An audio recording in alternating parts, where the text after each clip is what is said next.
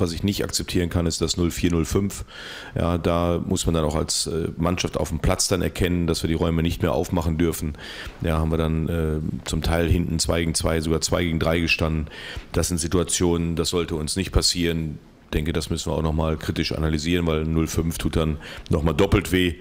Und äh, von daher war das dann natürlich für uns ein gebrauchter Pokalabend heute. Für mich war wichtig einfach, dass wir den Schwung äh, von, von Sonntag mitgenommen haben und ja hungrig geblieben sind. Bloß jetzt ähm, äh, wollen wir das natürlich für Samstag nochmal bestätigen. Aber die Mannschaft hat sich das auch erarbeitet und den Mut gehabt und äh, weiter an sich geglaubt.